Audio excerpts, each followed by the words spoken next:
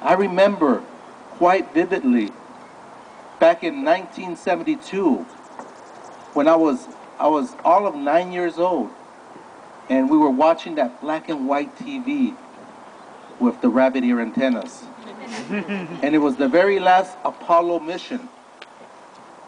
The very last time humans have been to the moon, more than 40 years ago. Think about it. There we were watching Gene Cernan walking on the surface of the moon. And I was holding the antenna because, of course, once you grab the antenna, reception improves. Y yo era más pequeño, I was the youngest one. So guess what my dad said? I quédate. You know, I kid around with my siblings now. I tell them that it was through osmosis that I became an astronaut. The, the, the, signals went through my body and somehow I got programmed to become an astronaut. but what happened was, what happened was that, that I, um, what happened was that um, the whole world stopped to watch each moon, moonwalk. And, uh, and, you know, all the channels programming was preempted. And, and pass it live with Walter Cronkite narrating it. And that night was no different.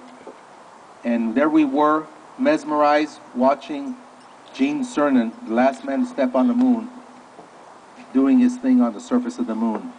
I would go outside and I would see the moon out there, just like we see it today. I would go back inside, see Gene Cernan bounce on the moon, talk to Mission Control Houston, come back outside, and see it. I would do that about six times throughout that whole process. And I said, wow, quarter million miles away, and we've got humans up on that surface of that moon right now. And I'm watching him on TV talk to the world. How cool is that? I said, that's what I want to be. I want to be an astronaut. And you got to remember, nine years old, we were living here in the valley in Stockton. We were migrant farm workers, spending nine months here, siguiendo las cosechas, following the crops, three, four different school districts, three months in Mexico. Nine months, three months. That was our routine as kids. And my parents only with a third grade education. The one thing I did right that evening was I told my parents of that dream.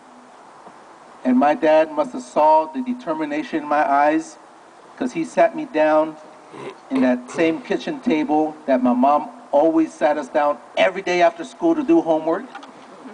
Mientras hacía las tortillas, sopa y arroz to feed us, we weren't allowed to get out of there until we finished our homework.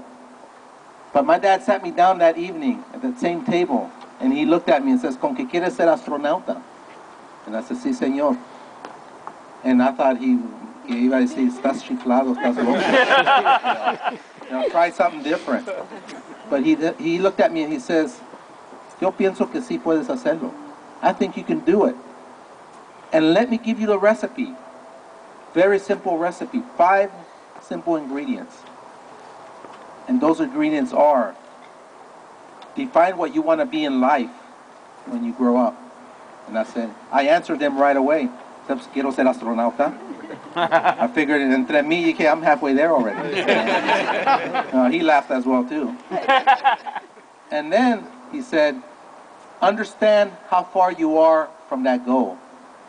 I said, well, I'm the son of a migrant farm worker. That's pretty far, huh? También se rió.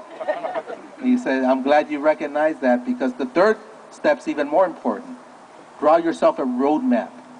Roadmap from where you understand where you're at to where you understand where you want to go. And outline every step.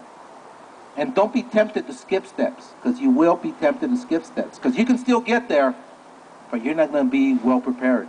Así que there's no shortcuts. That was the message in that one. No shortcuts. Draw yourself a map and don't take shortcuts. And then I said, okay, what, what's the fourth ingredient? He said, you're doing it already, mijo. Get yourself an education. Stay in school and get good grades. And then he said, and the fifth and final one, he says, equally as important, he says, you know that same work ethic you put out there in the field today, piscando los pepinos, the cucumbers? says that same work ethic, you put it in your books, and you put it in your professional job when you graduate college. Says you mix all that, Pepe, and you could be whatever you want. ¿Por qué? Porque estamos aquí en Estados Unidos. We're here in the U.S. You can reach your dream. You just have to work hard and do it.